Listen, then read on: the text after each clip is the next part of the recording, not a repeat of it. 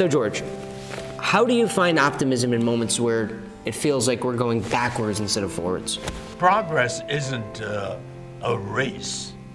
Uh, it's more like uh, a, a dance.